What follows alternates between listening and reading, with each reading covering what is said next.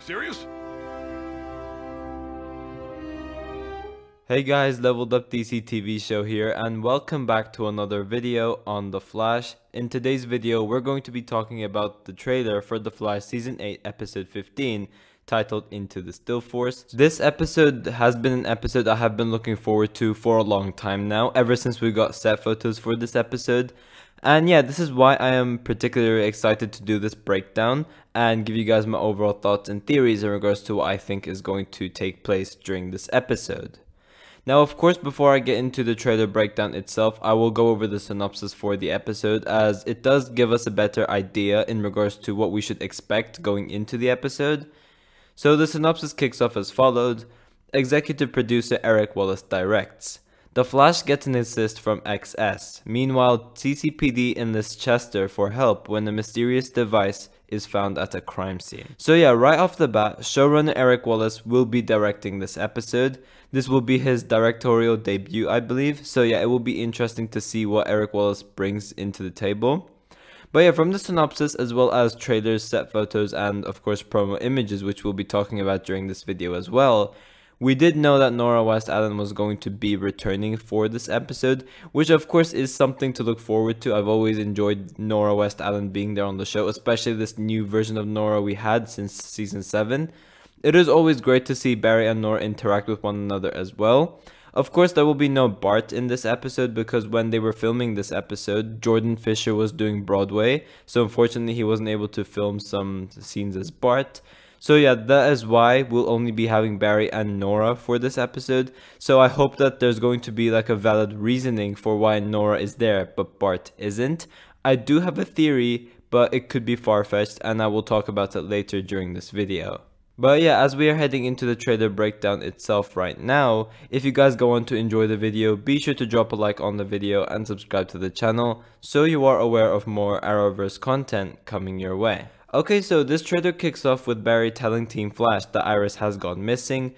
So we are pretty much starting things exactly right where we left off from episode 14, where we have Iris of course disappearing somewhere in the Still Force. And this will not be a resolution for a while now because for those who don't know, Candice Patton did take a hiatus during this time and that was the main purpose behind this time sickness disappearance in the first place. So it wasn't any like story related things. Maybe it was story related, but if it was story related, her disappearance would have definitely been shorter. But the reason why it's going on for so long is because Candice Patton actually took a hiatus. But yeah, we will not be seeing Iris until episode 19. So yeah, for any Iris fans out there, you're not going to be having Iris for a while now. But yeah, of course we do have Iris missing. So we do have Barry searching her office in the morning. So you could assume that he doesn't find her at the loft when he wakes up. So like he searches the loft, he doesn't find her. So then he heads to maybe like Joe's house, he doesn't find her there. And then he heads to her office at the CCC Media, finds her laptop open and her bag still there. Um, that is most probably when Barry finds out that there is something wrong. He still doesn't know what. Maybe he'll try and give Iris a few calls, but he'll get suspicious about something. And maybe he could begin to potentially see some like tiny green particles, which could allude to Barry that she has disappeared in the still force. Who knows? Maybe Deon is able to feel that Iris is somewhere within the depths of the still force, and then she and then he ends up telling Barry that, okay, Iris has disappeared somewhere in the still force. We're going to have to work together and pretty much find her. That could also be what is going on over here. Now, we do have Deon warning Barry that the still force essentially works very differently and time essentially repeats indefinitely in the still force. Now, this episode will also be very interesting because we will see how exactly the still force works. So I am really interested to see all of that stuff and really like explore the still force. So essentially various things from like different points in time, I guess, will be like in one area. That's what I'm assuming. And that is why we see things like this newspaper from May 4th, 2024. Zoom and Godspeed destroys Central City. This, of course, was the set photo which we had a couple of months ago, and this obviously got a lot of people freaking out. But yeah, we see this in the still force, so I'm just guessing we're gonna have like various things from different points in time in the still force itself. But yeah, this newspaper article it's really, really sick. Of course, this could be foreshadowing where they are setting up Zoom and Godspeed's return eventually, in which I've said this in many videos already, but Eric Wallace did say multiple times that he'd love to bring Zoom back on The Flash at some point, but he hasn't figured out how yet. But yeah, this could just be some clever foreshadowing coming from Eric Wallace. Of course, it must be mentioned that it does say 2024 and not 2022 or 2023. So for us to see that the Flash will need to get 10 seasons, which I don't think it will, especially with the state of what's happening with the CW right now. Or again, it could just be Grant Gustin's decision. Like he could just go, okay, I don't want to go more than season nine. We'll just get season nine, and that will be the final season. So uh, of course, if that happens, then we'll definitely not get that. But if season 9 is not the final season and we get season 10, then maybe we could potentially see something along those lines. Who knows? But yeah, anything is possible. We do have the CW upfronts next week, so yeah, we could potentially get a final season announcement for The Flash then. And if they do not say anything, then it is safe to assume that The Flash will most probably be getting a season 10 as well, but we still will not know for sure. Now, this Zoom and Godspeed article it could also be some sort of like timeline that is not fully set yet. Like it is only one outcome of a possibility that could happen. That of course is possible as well. So we might not even see this happening at all. It's just a newspaper just for the sake of this episode for just some like cool OMG moments to have. Now we do know that Barry is holding some sort of device when he's in the still force. So not only do we see it in like different shots in this trailer, but we do also know that he's been holding something through his set photos as well.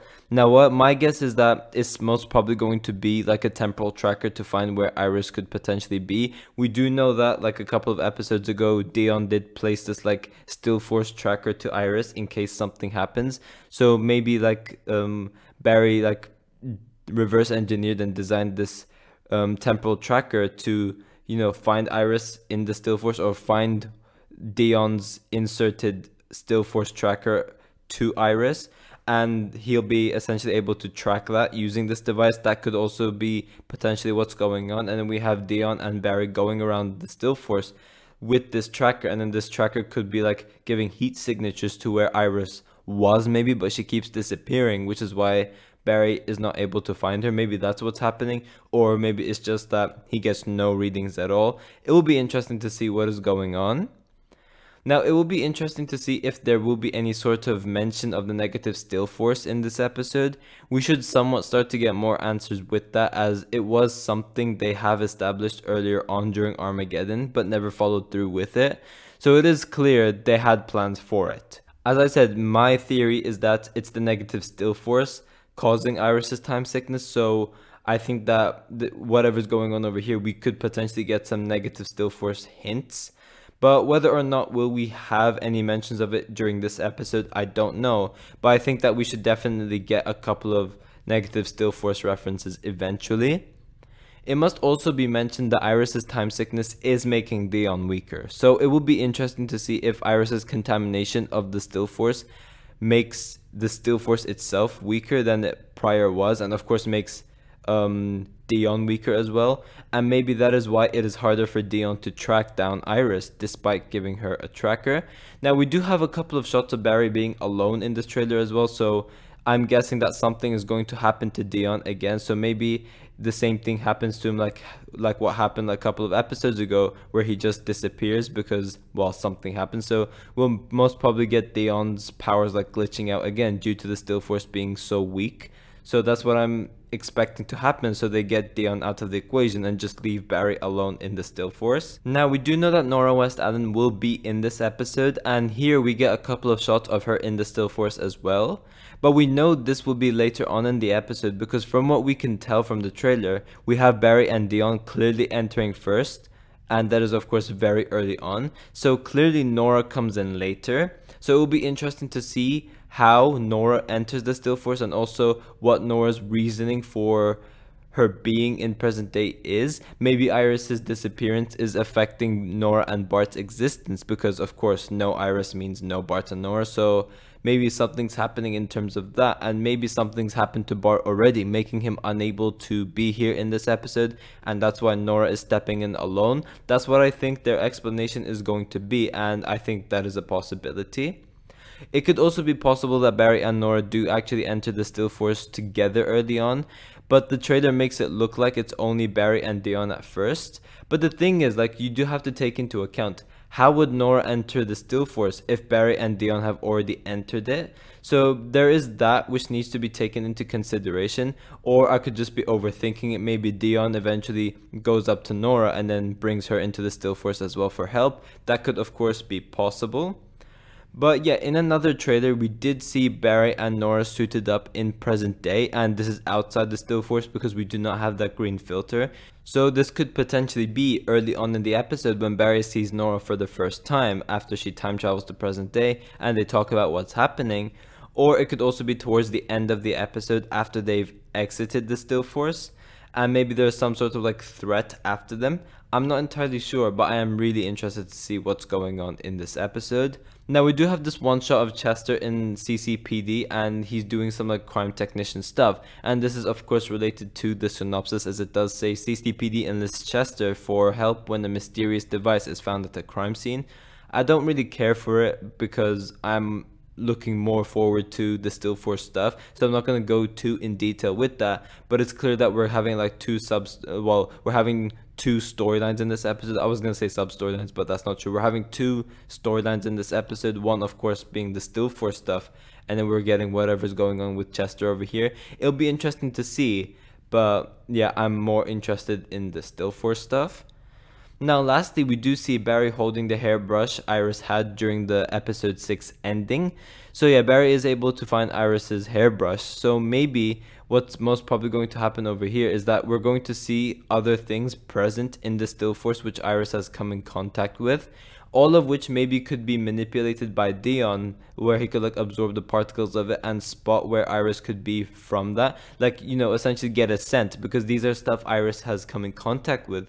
So maybe like Deon or maybe another character is able to like get a scent of something Iris came in contact with and using that they could kind of track down where Iris is at. That could of course be a potential thing happening as well. Now, of course, there should be some sort of like a threat taking place during this episode, which makes Barry and Nora eventually leave the Still Force. So maybe if they stay for too long, they won't be able to get out of the still force. Maybe Iris's time sickness contaminating the still force is making things worse. And because of it weakening the still force, or well, in more simple terms, once again contaminating the still force, of course it poses as a threat. So whatever Bar whatever Barry and Nora are doing, they're gonna have to act quick, otherwise something bad is going to happen to them. And that of course would add the value of intensity to the episode and makes this make the stakes higher as well. So yeah, that will of course force Barry and Nora to act quick. So maybe that is some sort of the threat that's going to be taking place during this episode. Now we do also have promo images to go over. They aren't really that interesting. The first bunch of photos, we really just have Team Flash in the lounge area of Star Labs and Barry, we just have Barry, Chester, Cecile, Joe, and Allegra.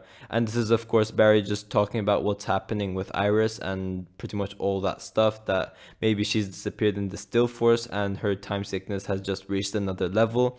And the other stuff, we're with Nora West Allen at night. So this is clearly like near the end of the episode. Um, they will most probably talk about like what happened in the Still Force and just fill everyone in and also just talk about what's going on in regards to like Iris and how they weren't able to find her in the still force. So clearly there is something bigger happening over here. But yeah guys, thanks for watching. If you guys have enjoyed the video, please give a like and subscribe. Be sure to tell me in the comment section down below if you guys are excited for this episode. I'm interested to see all of your thoughts towards all of this as well. And yeah, I will see you guys in my next video.